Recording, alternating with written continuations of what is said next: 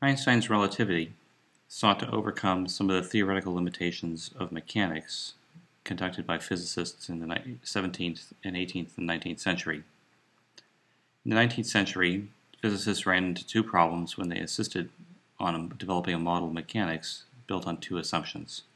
The first of these assumptions was the idea that there is an absolute rest frame, a frame of reference in which you could say that you are at rest, and if moving with respect to that frame, you have an absolute velocity. The second assumption was that of Galilean relativity, which, as we'll see, suggests that there's an absolute time relative to which we can judge all events. Einstein restarted the entire field of mechanics by developing a, set of uh,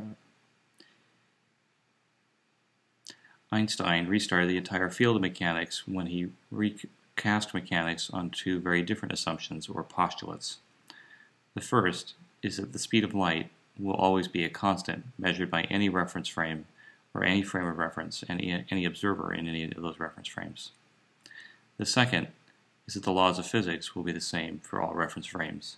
No matter what happens to the actual calculations for a quantity, the laws of physics, like F equals ma, will be reported to be the same for all observers in all reference frames. As we begin this class, we'll look at how these two postulates allow us to, allow us to reca recast mechanics with some surprising new results.